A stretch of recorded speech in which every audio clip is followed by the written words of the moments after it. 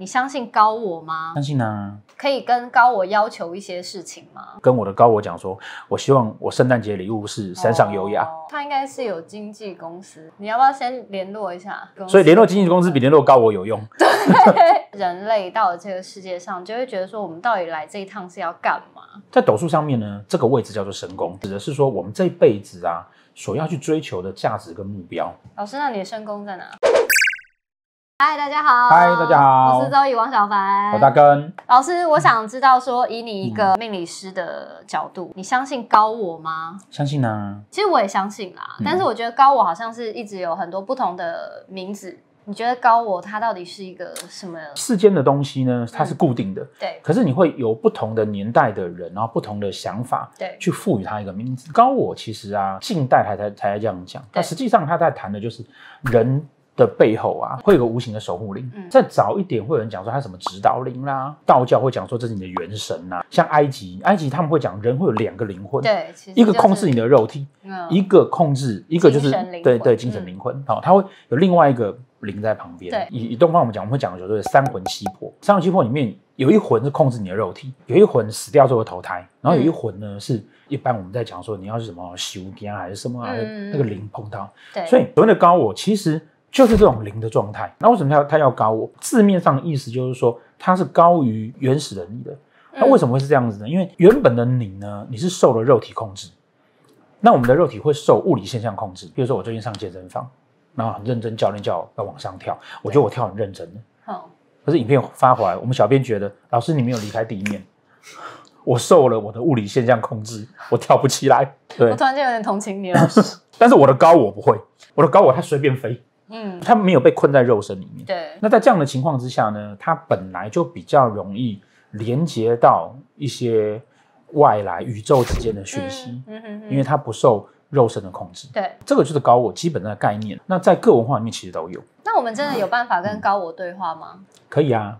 要如何对话？譬如说，有的人他天生他本来就比较不受肉身控制的，谁天生可以不受肉身控制啊有啊？譬如说你睡觉的时候，然后有的人他睡一睡神，游，他会神游，在别的地方这样。对，他会神游这种的，或者说鸡鸡童啊，那种鸡神啊，嗯。或者是说天生体质上面，对，体质特对体质上面，对。除了这些之外呢，我们也可以透过锻炼，我们上课会教玩那个牌卡，对。好、或者说像玩塔罗牌这种的，这种这种的所谓的占卦的东西啊，对。哦，或者你就把杯啊，都是利用你自己，我们讲守护灵或者讲高我这样的东西，你去跟这个整个宇宙的环境去寻找那个临界点，哦。透过这样的训练，不断的一直去做冥想，然后不断去做开发你自己的第六感的能力，嗯或者精神的能力，嗯，那当然他就会比较容易连接的起来。所以我们可以跟高我要求一些事情吗？高我帮助我们什么事情？这样子可以吗？原则上来讲，哈，既然他是你的守护灵，对他其实本来就是跟你是有连接的。对，他本来就是帮我们在这辈子里面啊，来保护跟守护我们的。哦然后他会知道说我们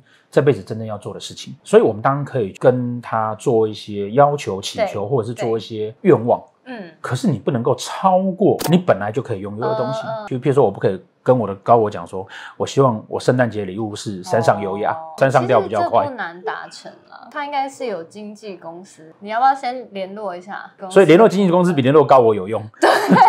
我们最大的问题是因为我们受肉身控制，没有办法那么清楚的知道它跟你之间的关系。人类到了这个世界上，就会觉得说，我们到底来这一趟是要干嘛？就是你的生命的主题到底是什么？紫微斗数的命盘上面就是会有身宫嘛，斗数啊，它基本的命盘上面哈、它会把人啊分成几个你来到这辈子的时候啊，嗯你会做的功课，嗯你所需要还的债，嗯，你所需要去努力的方向，对哦，它都有几个重心。对哦这辈子来了这边呢，你的那个主要的要做的事情哈、嗯就像那个我们在讲说那个高我，他会带了一个使命，告诉你说，哦，你如果跟你的高我有连接的时候，你就知道说，哎、原来我这辈子真正的功课是做什么。嗯否则你会受你的肉身跟物物理的现象去影响，你就会走偏嘛。对所以为什么身心灵界他会告诉你说你要探索你自己的高我对，然后或是探索你的指导灵，嗯。因为他才会告诉你说你这辈子真正要做的什么事情，嗯。而不会把它走偏掉，而不会去做白工。嗯。在斗数上面呢，这个位置叫做神宫。对。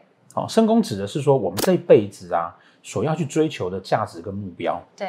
好、所以你看有的人呃，身宫在命宫，身宫在财帛宫，子宫在夫妻宫，身宫在福德宫，在迁移宫，在迁移宫的啊，你在迁移宫嘛，就是你会很在乎说别人对你的看法，跟你自己内心的价值跟欲望，嗯，那就看他里面有什么心。哦，那有人在夫妻宫，感情他一生所追求的。哦哦，那看他是什么心。他如果那个是比较乖的心啊，嗯那就是他希望一生以为一个人所守候。